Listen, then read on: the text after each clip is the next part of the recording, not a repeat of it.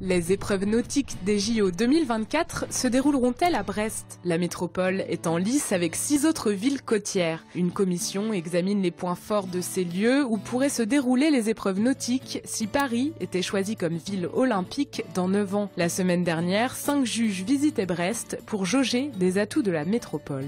Ils ont été euh, surpris, agré agréablement surpris de, euh, de la visibilité par... Euh, par le grand public de, de la Terre, soit de, euh, du polder de Brest, soit de la presqu'île de, de Plougastel, euh, du plan d'eau, donc visibilité directement sur les, les, les zones d'évolution des, des, bateaux. Et puis on a montré également euh, le, le, site olympique proprement dit, c'est-à-dire le, le, port du Moulin Blanc. Du côté des sportifs, nombreux sont ceux qui souhaitent voir les épreuves se dérouler dans leur ville fétiche.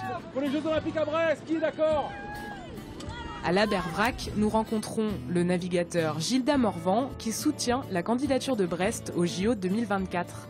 Pour moi, les Jeux Olympiques, c'est quelque chose de, très fort. Hein. J'ai participé aux Jeux Olympiques euh, d'Atlanta en 96 et j'en garde un, un, énorme souvenir. Donc, euh, dans la voile aussi, c'est le summum, les Jeux Olympiques. Donc, euh, pour moi, euh, ça serait quelque chose de fort euh, de pouvoir accueillir les Jeux Olympiques à Brest.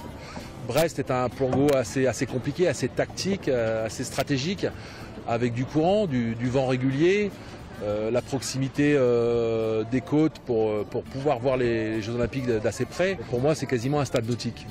Pour convaincre, Brest doit devancer hier Marseille, Le Havre, La Rochelle ou encore le département du Morbihan, avec notamment les sites de Quiberon et de Lorient réunis.